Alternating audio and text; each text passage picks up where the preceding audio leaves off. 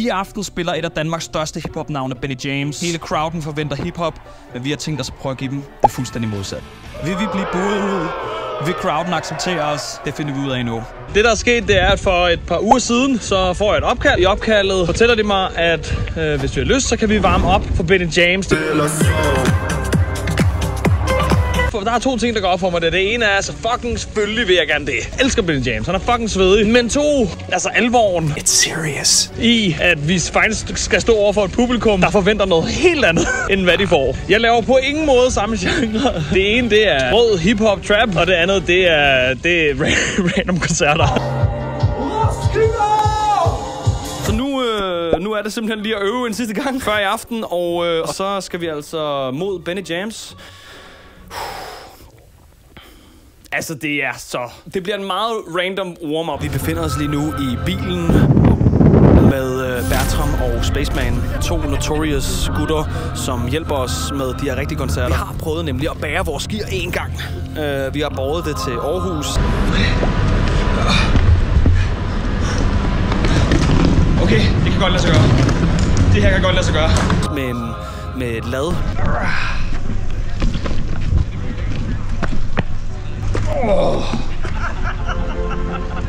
Øh, og det var simpelthen noget af det øh, mest nederen. Vi er der lige om, om en time, hvor vi skal sætte op så hurtigt vi overhovedet kan. Jeg tror ikke på nogen måde publikum øh, lytter til den slags musik, vi laver, for det er så langt væk en genre, men øh, det helt store spørgsmål er jo, om øh, en bundemand, der laver rockpop, rent faktisk kan lægge en scene ned, hvor tilskuerne lytter til Benny James.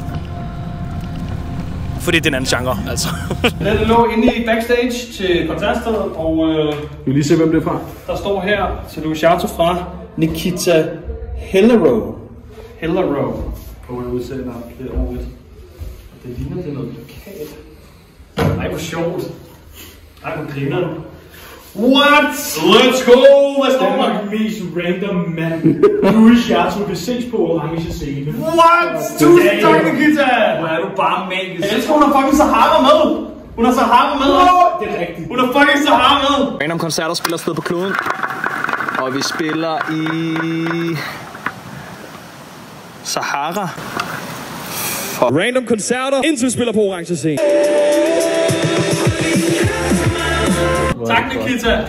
Woo! Fedt. Fuck, hvor sindssygt.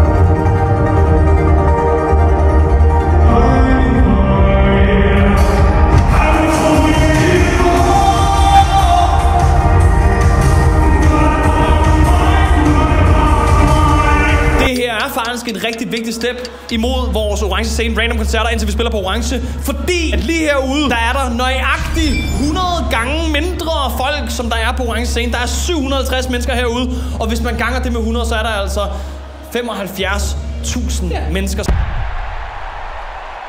Det er nøjagtigt. Det er 100. step nede. Lad os gøre det! Ja! I, I er godt klar over det, det, er begravelse. Fuck, er det det? Okay, lad os lige prøve igen. Hvad? Jeg tager den lige igen. Vi er samlet her i dag for at... I aften skal Spaceman dø af glæde, når vi nakker den her koncert! Let's go! Og kan meget hurtigt høre... Benny, Benny.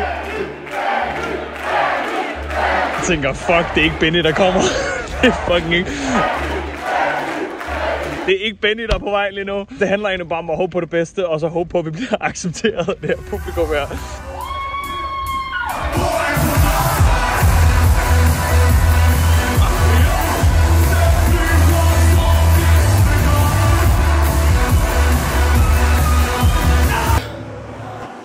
Holy shit!